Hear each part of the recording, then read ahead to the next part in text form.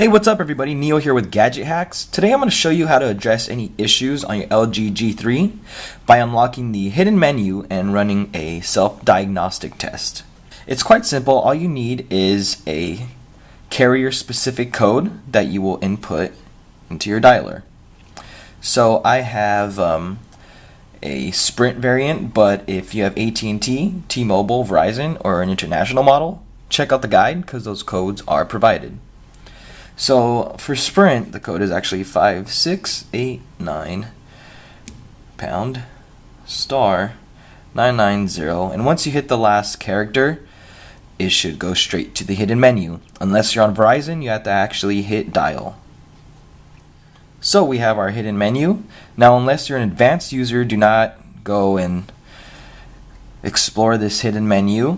Just do what I do hit ELT test you can do it automatically or you can do manual. I prefer manual just so I can see everything going on. Then we're going to go ahead and start. Now you can test things like your LCD backlight, your ringtone, vibrator camera, audio loopback, audio loopback mic 1 and mic 2. So you would just tap it, test start, there you go, it's testing the light, status on, stop, everything's good there. Go to the next one, ringtone, Status playing.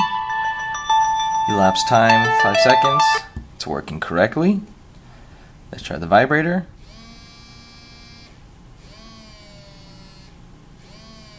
So that's working. And the camera. That's working.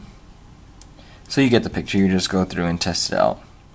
This will definitely help you um, pinpoint any issues on your device. Maybe you think it's an application, maybe it's the hardware, software. This will let you go into your provider or talk to your manufacturer with a little bit more knowledge on hand. So definitely check out the full guide. Don't forget to like, comment, and subscribe for some more awesome gadget hack videos. Thanks for watching, guys.